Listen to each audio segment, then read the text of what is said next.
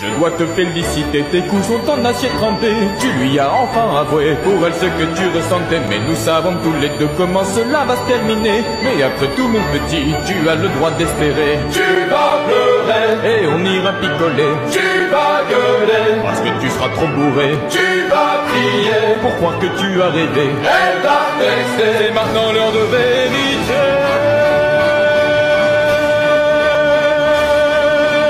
Bienvenue zone, tu seras toujours alone Mais faut pas s'inquiéter, un jour tout ça va s'arrêter. Bienvenue dans la friend zone, c'est pire qu'un autogone Tu t'es fait défoncer mon pauvre bébé Mais toi bien dans la friend zone car tu vas y rester bien pour quelques années. Mon ami je suis désolé. Bienvenue dans la friend zone, tu seras toujours alone Mais faut pas s'inquiéter, tu l'as trouvé